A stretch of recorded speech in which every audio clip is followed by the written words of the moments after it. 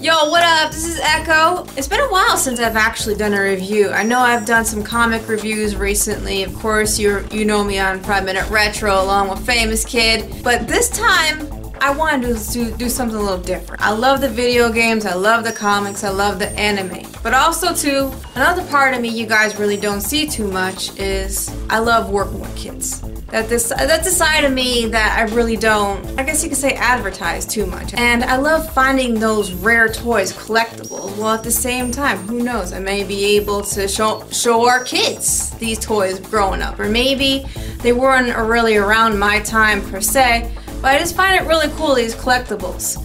Now, on our way to an awesome retro video game store, I ran across the Tiger 2XL. This dude was really cool.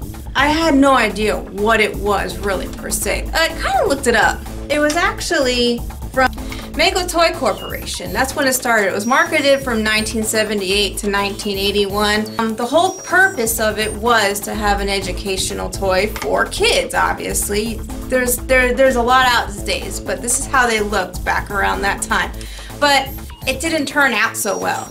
So that's when Tiger came in. You may know them as a little handheld games, but they wanted to make something a little more interactive for the little ones. Um, and they remarketed this and revamped it in, in 1991. So it, it was really cool.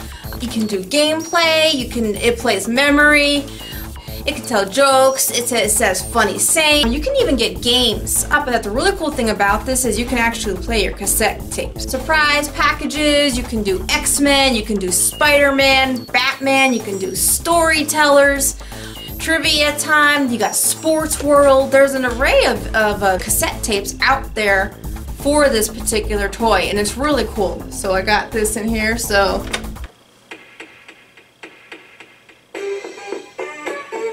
got the right stuff, right? So it has really good sound and everything. And next one, I, I, I kind of thought this. Um, this might take you back. Y'all heard Toy Story, right? I'm pretty sure you've seen this. Woody's gathering all the toys around and it's about to be Andy's birthday party and he's freaking out because he's the favorite toy.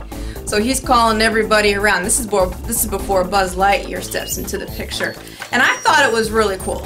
Now I don't have any C batteries. It's those evil C batteries that you always have those D batteries, triple A, double A, double F, whatever that is. Me, you know. Anyway, moving forward. This is Mr. Mi Mr. Mike Robot. You can actually sound like a robot here. You know, hello, hello. It's kind of cool. Um, you can even go to a kid. Hello, hello.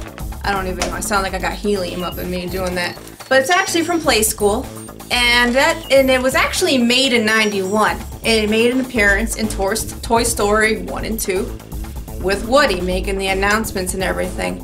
I just find it I just find it really fascinating. Definitely a passion I have when it comes to collecting on top of Barbies and everything else. So, but yeah, I hope you like this. Thanks for listening. Peace, love, and as always, like, subscribe. I would love to hear about toys that you had as a kid. Well, thanks for listening, alright? Peace.